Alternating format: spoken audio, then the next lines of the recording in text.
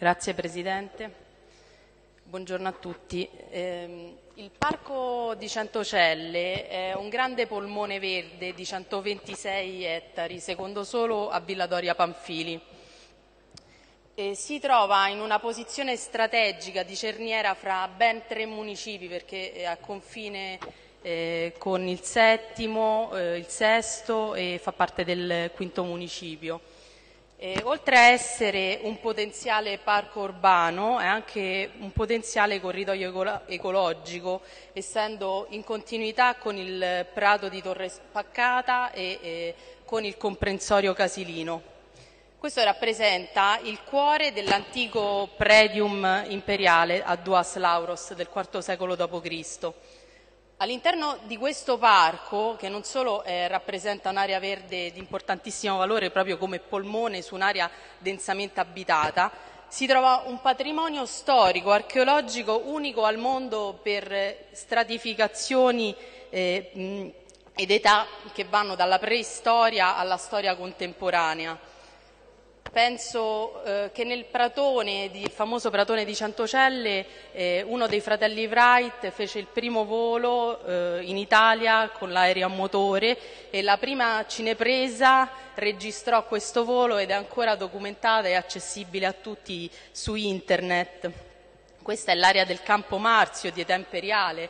In questo parco risiedono tre ville di età imperiale, le più imponenti ville ehm, romane, una villa cosiddetta a Duas Lauros, di proprietà eh, della madre di Costantino, Sant'Elena, che poi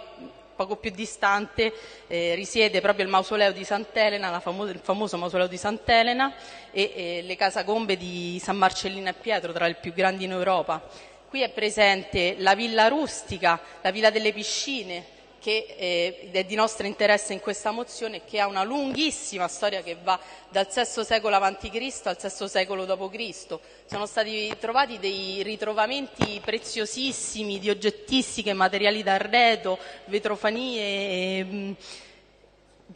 decori in oro, ora che sono situati nella scuola statale Cante che andremo a visitare nella prossima commissione di lunedì eh, per parlare insomma, del, del, del, della progettazione e dell'attuazione dell'Ecomuseo Casilino,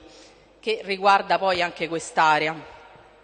Sepolcri museali, eh, il tratto sotterraneo dell'acquedotto alessandrino, il forte Casilino dell'Ottocento, e questo come abbiamo detto è il primo grande aeroporto eh, della Francesco Baracca, istituito subito dopo questo primo volo eh, di, del Wilbon Wright, e eh, insediamenti preistorici, il canalone di Mussolini dove fu creata la prima, uno dei primi insediamenti metro che doveva andare a Roma Pantano, poi abbandonato lì, e una serie di gallerie eh, poi utilizzate nella storia sia come catacombe che come presidi militari. Insomma, eh, la storia del luogo è veramente ricca, ricchissima eh, di risorse archeologiche, molti studi sono stati fatti soprattutto dalla nostra sovrintendenza che ha portato avanti delle progettazioni concrete, definitive. Eh, abbiamo un vero e proprio progetto eh, di museo eh, del, di Centocelle, un, un museo ecologico innovativo che vorremmo vedere realizzato e questo chiediamo in questa mozione. Però nonostante questo, ehm, quest'area non ha impedito che ci fosse un costante processo di degrado, di abbandono, di insediamenti abusivi e, e insomma questo per una serie di criticità che sono ancora in essere su quest'area dagli incendi alle discariche delle fungaie, eh, che dopo essere discariche delle fungaie, che voglio sottolineare, dopo essere state dimenticate per anni, perché non è che queste discariche si sono generate oggi in questa, in questo, questa consigliatura, ma che per la prima volta eh, l'amministrazione eh, capitolina, l'assessorato all'ambiente, la commissione ambiente insomma, si sono impegnati a bonificare stanziando dei fondi proprio in questa, in questa fase di bilancio proprio affinché ci sia il ripristino ambientale di quest'area. Poi insediamenti abusivi derivanti anche da un fatto di forte criticità perché eh, nonostante l'ampiezza e l'importanza di questo parco ciò che si riscontra è la difficoltà all'accesso a, a quest'area. eh, da tutti i municipi. I, I, comitati territoriali sono molto attivi, addirittura hanno cercato di creare dei varchi eh, tra eh, gli autodemolitori per arrivare al settimo municipio e anche noi stessi insomma, stiamo lavorando nel passato, abbiamo portato delle mozioni in tal senso e lavoreremo in futuro anche nel progetto dell'Ecomuseo Casilino. Questo per dire che noi già stiamo là lavorando con quest'atto per, eh, per, dire che è un eh, problema molto complesso e quindi sicuramente è necessario coinvolgere tutti i dipartimenti eh, interessati, quindi dalla sovrintendenza alla cultura, al Dipartimento Ambiente, all'urbanistica.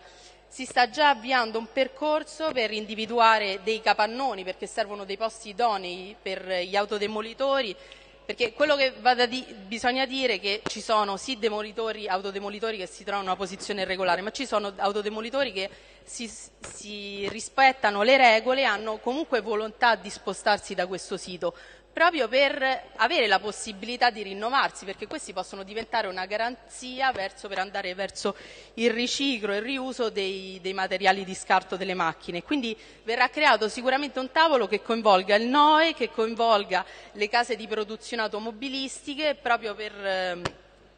per, perché secondo le ultime direttive devono essere coinvolte nel processo degli, dello smaltimento di questi materiali, per individuare, il filo di individuare luoghi chiusi, capannoni idonei che possano essere tecnologici e possano rispecchiare eh, nuovo, nuova, una nuova tipologia di autodemolitori. Quindi con questo atto andiamo proprio in questo senso, perché crediamo di adottare delle soluzioni definitive e arrivare questo già si sta programmando alla chiusura definitiva degli sfasci, cioè no, alla chiusura, alla dislocazione definitiva degli sfasci che eh,